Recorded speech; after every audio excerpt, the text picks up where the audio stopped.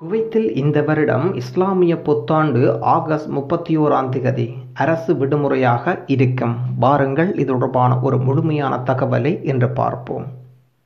குவைத்தில் இந்த வருட இஸ்லாமிய புத்தாண்டு ஆகஸ்ட் முப்பத்தி ஓராம் திகதி அதாவது சனிக்கிழமை அன்று இருக்கும் என்று செய்திகள் தெரிவிக்கின்றன. ஆதாரங்களை அடிப்படையாக கொண்டு அல் அன்பா தினசரி நாளிதழ் செய்தியை வெளியிட்டிருக்கின்றது. விடுமுறைகள் குறித்து அமைச்சரவை வெளியிட்டுள்ள அறிக்கைகளின்படி சனிக்கிழமையன்று ஏதேனும் பொது விடுமுறைகள் வந்தால் அது ஒரு பொது விடுமுறையாக கருதப்படும்.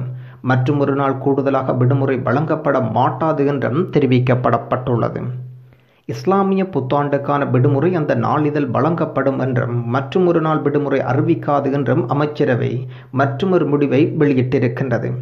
இதை சிவில் சர்வீஸ் கமிஷன் உத்தரவின்படி எண்பத்தி இரண்டாவது பிரிவு உறுதிப்படுத்தியிருக்கின்றது. என்று நாங்கள் பார்த்த விடயம். குவைத்தில் இந்த வருட இஸ்லாமிய புத்தாண்டு ஆகஸ்ட் முப்பத்தி ஓராம் தேதி அரசு விடுமுறையாக இருக்கும் என்று செய்திகள் வெளியிடப்பட்டிருக்கின்றது. தொடர்பான தகவல் ஒன்றை இன்று எஃப்னா தமிழ் டிவியினூடாக இன்று பார்த்திருந்தோம்.